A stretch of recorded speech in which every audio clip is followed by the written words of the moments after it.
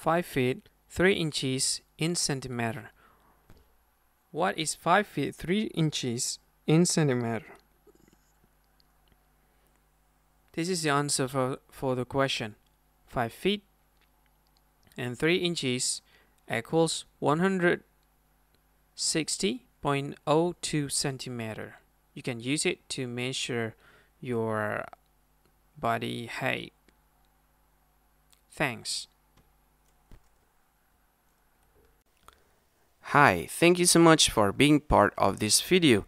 If you find this video is really helpful, you got to support us by clicking on this like button and share it to your friend. And of course, you need to subscribe in this channel by clicking the subscribe button and don't forget to click on this ring button to get notified for every video we upload on YouTube. And if you have any question or you want to just say thanks to us, just click on this uh, comment section and you can see whatever you want and click in comment. I think that's all of it. Thank you for watching and see you again in the next tutorial. Bye bye.